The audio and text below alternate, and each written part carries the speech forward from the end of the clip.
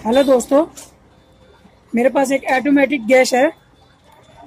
आज दोस्तों, इस वीडियो के अंदर मैं आपको बताता हूँ। ऑटोमेटिक गैस के अंदर एक लाइटर होता है। लाइटर जिसकी वजह से इसको हम ऑटोमेटिक गैस बोलते हैं। मैं आपको दिखाता हूँ दोस्तों, कई बार क्या होता है, जब हम गैस चूल्हे को ऑन करते हैं तो अब यहाँ ध्यान से देखो जब हम इसको गैस को ऑन करते हैं तो यहाँ पे एक स्पार्किंग होती है। ये स्पार्किंग की वजह से ही हमारा जो ऑटोमेटिक गैस चूल्हा है, वो अपने आप जलने लग जाता है। यदि दोस्तों, आपके ऑटोमेटिक गैस के अंदर ये स्पार्किंग प्रॉब्लम आ जाती है तो आप इस, अपनी इस स्पार्किंग प्रॉब्लम को कैसे हल कर सकते हो? इस वीडियो के अंदर दोस्तों, मैं आपको इस इस समस्या का हल बताता हूँ। देखो दोस्तों, मेरे पास ये मशीन है इसके अंदर इसके अंदर ये स्पार्किंग प्रॉब्लम है और इस मशीन को मैं आपको ठीक करके दिखाता हूँ कि हम कैसे अपनी स्पार्किंग प्रॉब्लम को हल कर सकते हैं और ये स्पार्किंग प्रॉब्लम किस किस वजह से आती है और इसके अंदर क्या क्या पार्ट होते हैं, ये आप ध्यान से इस वीडियो को देखना। यदि आप मेरी इस वीडियो को ध्यान से देखते हो तो आप अपने घर पे ही अपने ऑटोमेटिक में आने वाली स्पार्किंग प्रॉब्लम को आसानी से हल कर सकते हो। स्पार्किंग प्रॉब्लम को हल करने के लिए दोस्तों, हमें पूरे चूल्हे को खोलने की ज़रूरत नहीं है। जिस भी मशीन के अंदर या जिस भी किट के अंदर स्पार्किंग प्रॉब्लम है, हम उस किट को ही स्पेशल खोलते हैं और उसको हल कर सकते हैं। इसके लिए दोस्तों, हम इसके इन दोनों नोटों को ऑन करते हैं।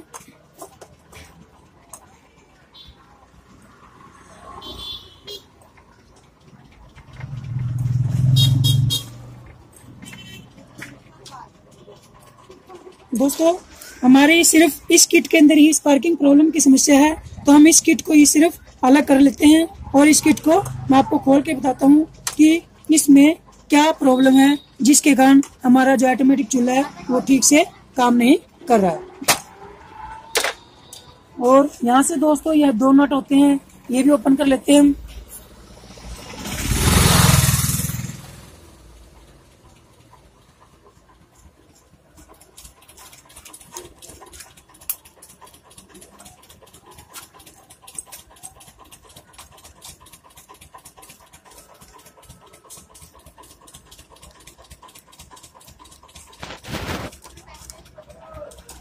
इस तरह से दोस्तों, जिस भी मशीन के अंदर आपकी स्पार्किंग प्रॉब्लम है, आप उसे अलग कर सकते हो। हम इसके निप्पल को भी खोल लेते हैं ताकि ये मशीन हमारी आसानी से बाहर हो जाती है।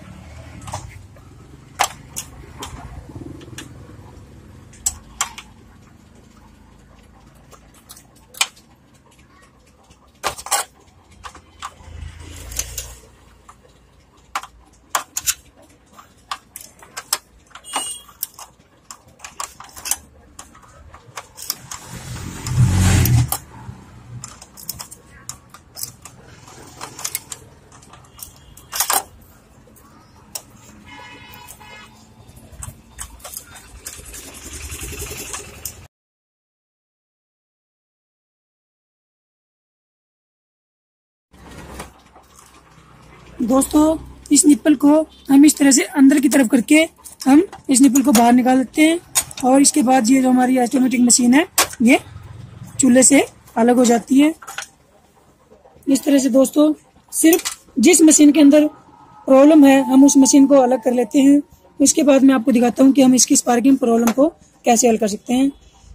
दोस्तों, ये ये पार्ट देख रहे हो, इसके अंदर ही इसके जो ऑटोमेटिक के लाइटर का सिस्टम होता है, वो इसके अंदर ही होता है। मैं आपको इसको खोल के दिखाता हूँ, इसके अंदर क्या क्या पार्ट होते हैं।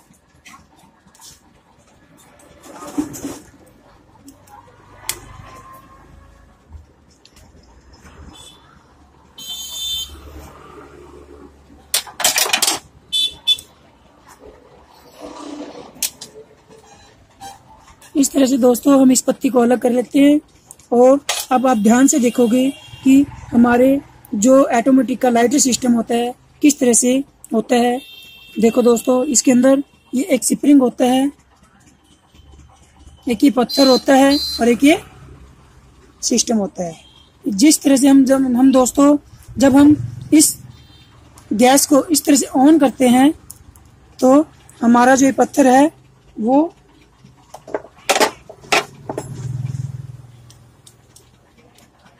हमारा जो पत्थर है वो इस तरह से पीछे जाता है और जब हम ऑन करते हैं तो वो पत्थर जाके इससे टकराता है तो हमारे यहाँ पे स्पार्किंग प्रॉब्लम स्पार्किंग पैदा होती है, जिससे हमारी गैस ऑन होती है।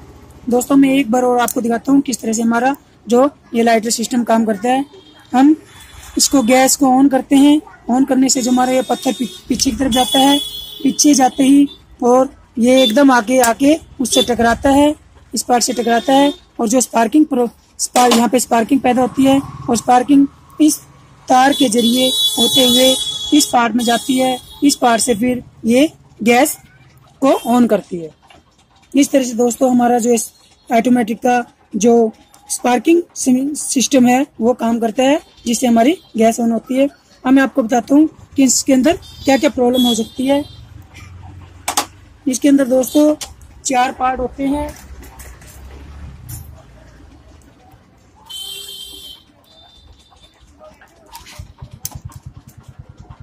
एक ये स्प्रिंग होता है दोस्तों।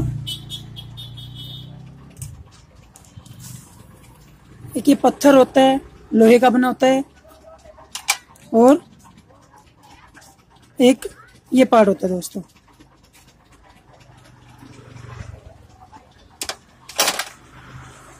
जब भी दोस्तों आपके ऑटोमेटिक सिस्टम में स्पार्किंग की समस्या आती है, इसमें स्पार्किंग की समस्या क्यों आती है, मैं आपको बताता या एक इसके अंदर ये पाइप होती है, आप ध्यान से देखोगे कई बार क्या होती है, ये पाइप टूट जाती है। यदि ये पाइप टूट जाती है तो हमें इस पाइप को दूसरा चेंज करना होता है, क्योंकि हम इस पाइप में ना तो कोई जोड़ लगा सकते हैं, ना ही किसी प्रकार की हम इसको इस समस्या का हल कर सकते हैं। तो इसके लिए हमें यदि इस पाइप में कोई प्रॉब्लम आ जाती है तो हमें इसको पूरी को ही चेंज करना होता है। ये बाज़ार से अलग से ही ये पार्ट मिल जाता है। इस पार्ट को हम ला के हम इसके अंदर सिस्टम में सेट कर देंगे तो हमारी जिस पार्ट की समस्या है, वो हल हो जाएगी। दूसरी समस्या दोस्तों, इस पार्ट की वजह से आती है। इस पार्ट में यदि यहाँ पे ये पार्ट में गंद लग जाता है, जंग लग जाता है तो हम इसे, इस जंग को किसी रेग मार्क की मदद से हम साफ़ कर देते हैं तो हमारी जो स्पार्किंग समस्या है, वो भी हल हो जाती है। इसके बाद दोस्तों, इसका ये पार्ट होता है, जो इस पा, जो इसमें चिंगारी पैदा करता है। इस पार्ट में भी दोस्तों, यहाँ पे जंग लग जाता है। जंग लगने से जो स्पार्किंग की समस्या हमारी आना शुरू हो जाती है। इसके बाद दोस्तों, इसका ये पार्ट होता है, जो इस स्पार्किंग इस स्पार्किंग के सिस्टम को चलाता है। यदि कई बार क्या होता है, इस पार्ट का ये ये पार्ट टूट जाता है।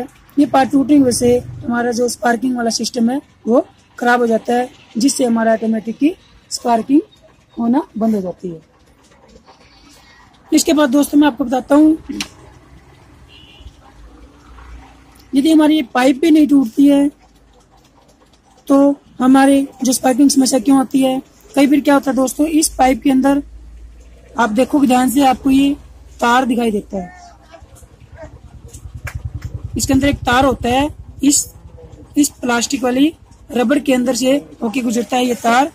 ये तार अंदर से टूट जाता है, जिससे हमारी जो जो चिंगारी पैदा होती है, वो यहाँ से होते हुए आगे नहीं जाती, जिससे हमारी स्पार्किंग समस्या पैदा हो जाती है। इस तरह से दोस्तों, इसमें मशीन में एक ये पार्ट होता है दोस्तों। इस पार्ट में भी दोस्तों, ये लोहे की एक तार होती है, कई बार क्या होता है, इस लोहे की तार भी ये खराब हो जाती है, इसके ऊपर जंग लग जाता है, इसकी वजह से भी हमारी जो इस लाइटर सिस्टम में स्पार्किंग की समस्या पैदा हो जाती है। यदि दोस्तों, आपको अपने ऑटोमेटिक गैस की स्पार्किंग समस्या में ऐसी इस प्रकार की कोई भी समस्या दिखाई देती है तो आप उसके लिए दोस्तों क्या करोगे? सबसे पहले उस समस्या को देखोगे कि इसके अंदर क्या समस्या है। यदि आपको सबसे पहले तो हम इसके प्रत्येक पार्ट पे जो भी जंग लगा होता है या कोई कचरा लगा होता है, हम उसको रेग मार के में से साफ़ कर लेते हैं।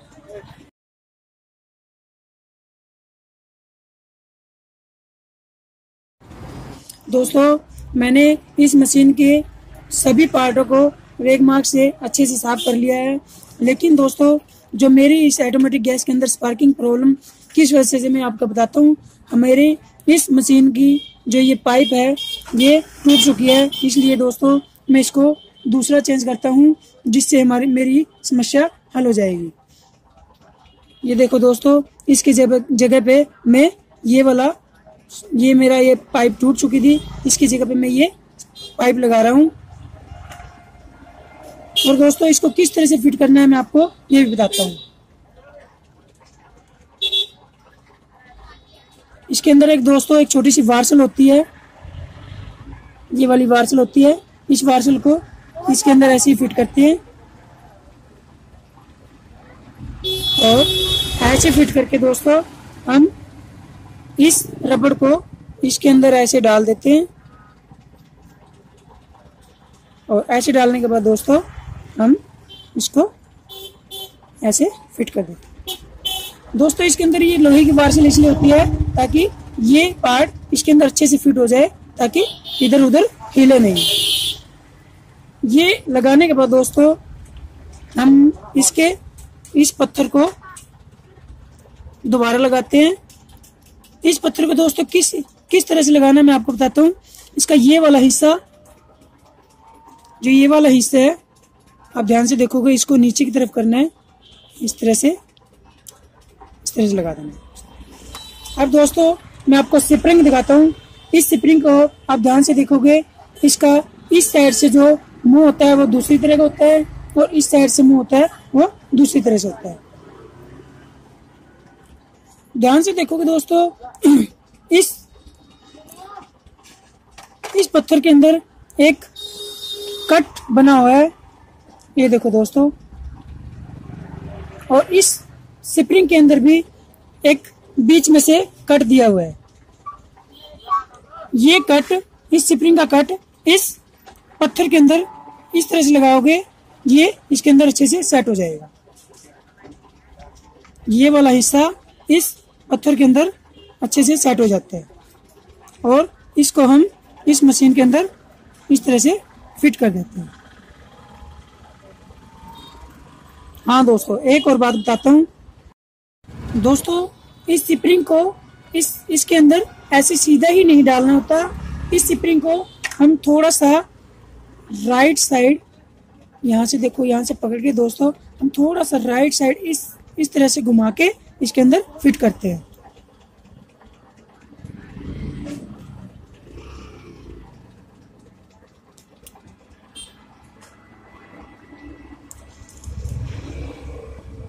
देखो दोस्तों। इस तरह से हम इसको स्प्रिंग को राइट साइड ऐसे घुमाते हैं और इसके अंदर फिट कर देते हैं। यदि आप इसको सीधा ही फिट करोगे, जो आपका, जो ऑटोमेटिक सिस्टम है, वो काम नहीं करेगा। इसलिए हम स्प्रिंग को राइट साइड इस तरह से घुमा के और इसके अंदर फिट कर देते हैं। इस तरह से फिट करने के बाद दोस्तों, हम इसकी जो पत्ती हमने ओपन की थी, हम उस पत्ती को दोबारा लगा देते हैं। इस पत्ती को दोस्तों, यहाँ पे ऐसे डालना होता है और उसके बाद दोस्तों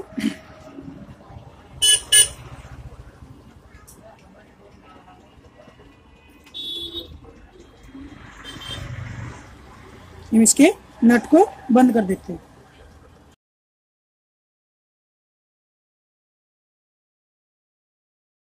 इस पत्ती को दोस्तों इस तरह से हम लगाते हैं और इसके बाद हम इसके नट को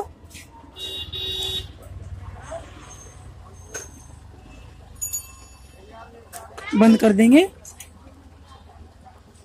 नट बंद करने के बाद दोस्तों, मैं आपको इसको चला के दिखाता हूँ।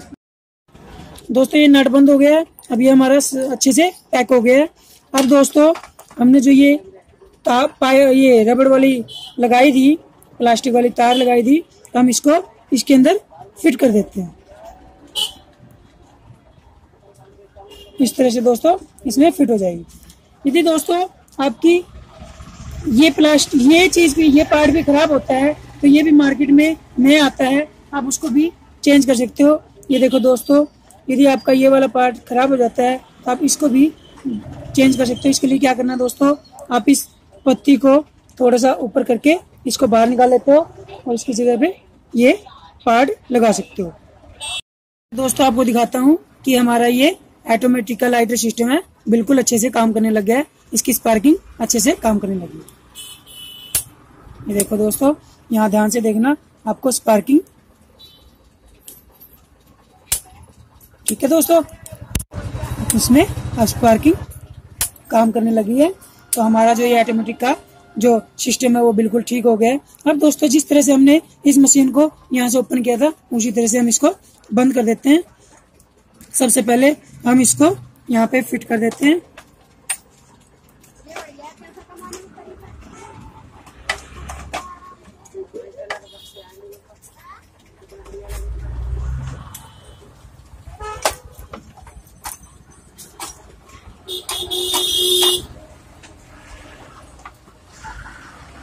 दोस्तों हम इन इसके दोनों नटों को बंद कर देंगे। और बंद करने के बाद, दोस्तों, हमने जो यहाँ से जो दो नट खोले थे, हम उनको भी बंद कर देंगे और इसके इस निप्पल को लगा देंगे। इसको इस निप्पल को यहाँ पे टाइट कर देंगे। इसके बाद हमारा जो ऑटोमेटिक सिस्टम था, वो बिल्कुल ठीक हो गया। इस तरह से दोस्तों, आप मेरी इस वीडियो को देख के अपने घर पे ही अपनी इस ऑटोमेटिक की जो स्पार्किंग समस्या है उसको ठीक कर सकते हो। यदि दोस्तों मेरी आपको ये वीडियो अच्छी लगती है तो इसको लाइक करना। मेरी इस वीडियो को ज़्यादा से ज़्यादा शेयर करना और मेरे YouTube channel simple repair step को सब्सक्राइब करना।